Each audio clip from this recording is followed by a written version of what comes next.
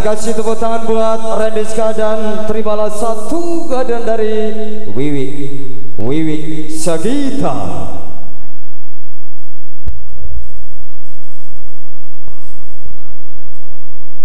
Hmm.